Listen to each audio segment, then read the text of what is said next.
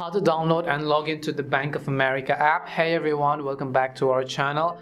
I am Bimal from HelpDeck. In today's video, I'll show you how you can download and log into your Bank of America online banking. So make sure to watch the video till the end.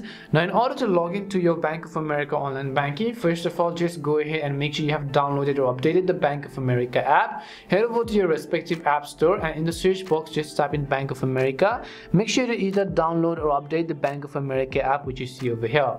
Once you've downloaded this application, tap on the open button. Now, in order to log into your Bank of America account, just tap on the login button which you see. As you tap on the login button, make sure that you've already signed up for the online banking of Bank of America. If you've already signed up, you have to agree to the terms and conditions over here. And as you tap on the login button, basically you have to enter a user ID and a password. You may also set up your and save your user ID if you want, and you can also set up your biometrics and tap on the login button.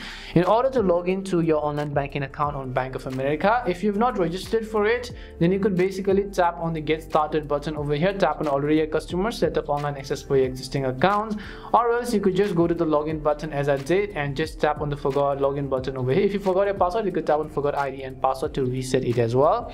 And that's all it takes to download or log into your bank of america online banking. We hope the video was really helpful. And if it did help you then make sure to leave a like and subscribe to our channel. And if you have any more questions queries or doubts make sure to also leave them down. Thank you very much for watching and see you soon in our next video